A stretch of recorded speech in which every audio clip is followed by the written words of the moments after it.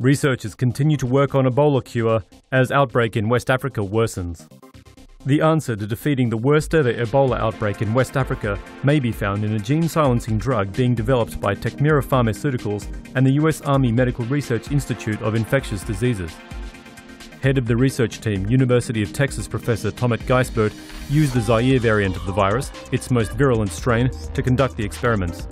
The Ebola virus consists of a shell of glycoproteins surrounding genetic material, a single stranded RNA. The glycoproteins attach themselves to receptors on human cells so as to invade them.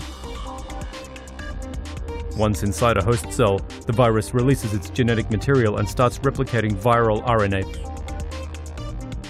Newly produced proteins then envelop the RNA to create new viruses, which then leave the host cell in search of new cells to infect over and over again. In the quest to find a cure, researchers injected a lethal dose of Ebola's deadly Zaire strain into Chinese rhesus macaques.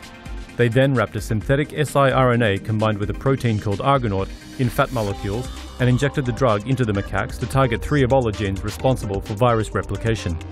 When siRNA binds with viral RNA, the Argonaute is activated, and the viral RNA strand is cut into harmless segments incapable of replicating. 10 days after the treatment, the monkeys showed no trace of the virus in their systems. Although the treatment has been effective in animals, clinical trials in humans have been stalled due to adverse side effects.